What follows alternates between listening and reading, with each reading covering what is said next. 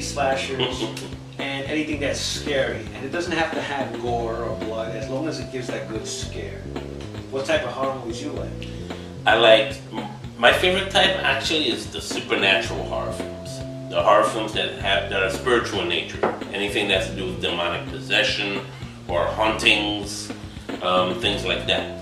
You know, those are my favorite types. I, I have my heart. There's a place in my heart for the slashers, so also of the '80s as well. I have to admit. Okay.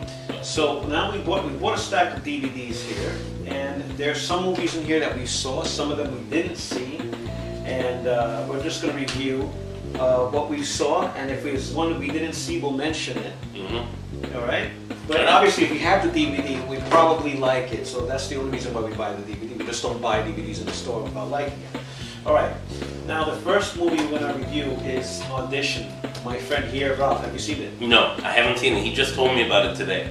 Um, explain it. Okay, Audition is a great, great horror film. If you want an original horror film, this would be it.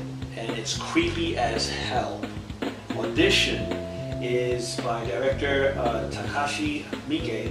He's done a lot of uh, cult films, It's a Japanese film. Japanese film, and this DVD here, which I got this on Blu-ray by the way, but uh, this I bought this before I bought the Blu-ray when uh, DVDs were in. They make Blu-ray out of everything now. Yeah, now they're just starting to. Yeah. So this, in my opinion, and I know when he sees it, he's probably gonna. Uh, you know, we'll get back to it sooner. But after you see this movie, we'll get back to it in another episode, and we'll ask your review for this. Okay? No So problem. So okay, my review for this film is five coffee cups. Okay. That's Why? good coffee. This movie is creepy, it's scary, and it's a great story. Five coffee cups for uh, audition. I think you should see this one. All right. Great. All right, the next one. Okay. Are you seen? kidding me? Have you seen this movie? Yes. Why are you even bringing that up? Have you seen it? Yes. Okay, I have seen it too. This is uh, Book of Shadows, Blair Witch 2. Now, we've talked about me and Ralph about Blair Witch 1 a lot, and I think it's one of the best original horror films. A lot of people may disagree with Blair Witch, and that's because they all thought it was real when it really wasn't real. But with this particular film, it was quite clear that it was. Um, they went. They, they decided to go the route of regular filming as opposed to a guy running around with a video camera. You know, that's what Blair Witch Two did.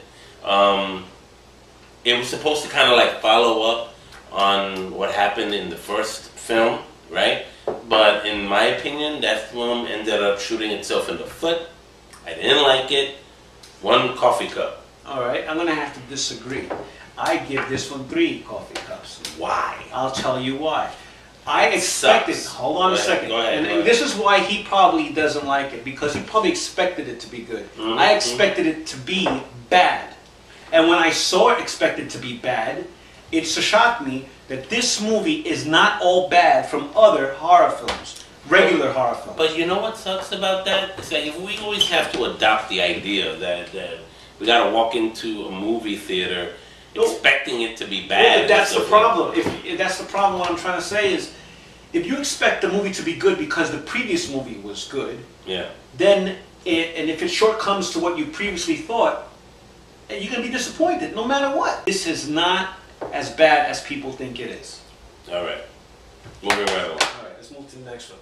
Have you seen it? no. Nail Gun Massacre. He was telling me about this earlier. Nail Gun Massacre is our next film. Nail gun massacre. The person with a nail gun going out systematically killing people, All right, now nailing them. this is now talking about expecting. I expected this to be bad, and my expectations were on the money. This movie is so bad, it bleeds. And the only reason why How many I- coffee cups?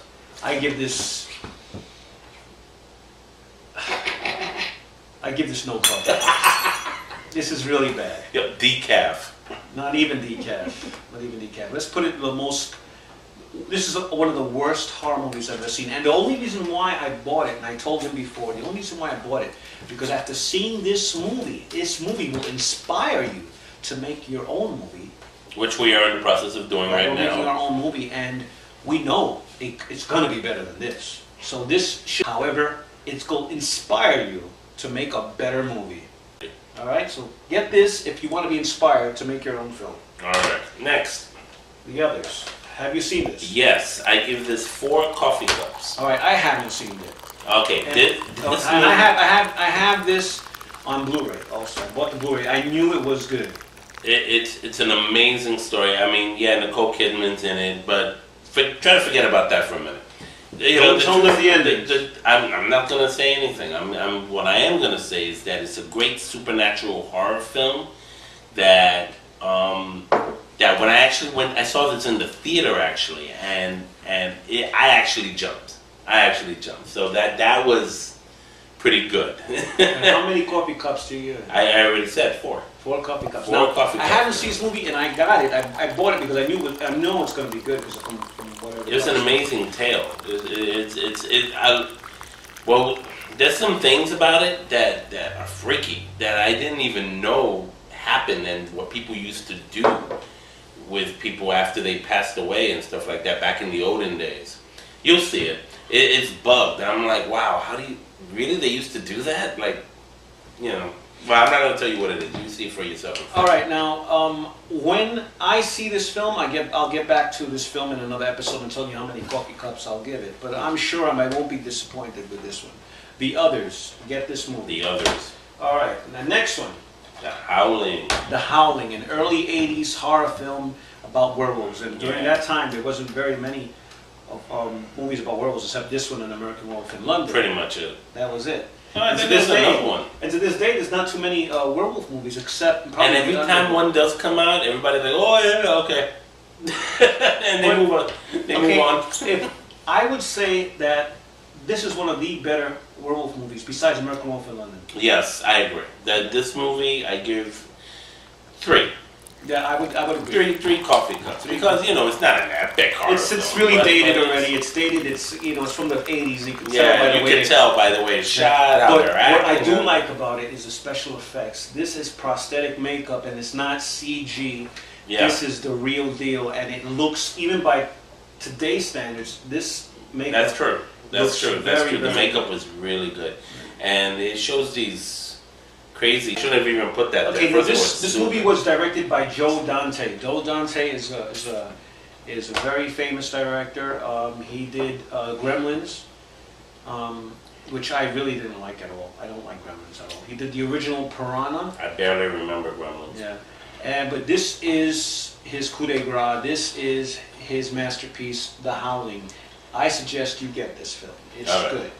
All right, now, All right, next movie. next one. Did you see this? Of course I did. You I showed saw it. it. You told me. You you you hooked me up, man. You All right, showed this me is the original Japanese version of The Ring. Yes. Okay, I like this movie better than the remake.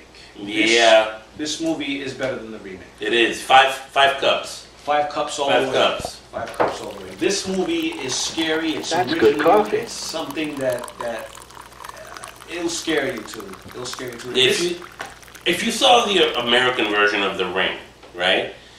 You probably saw it was scary, but you you really gotta really appreciate the storyline.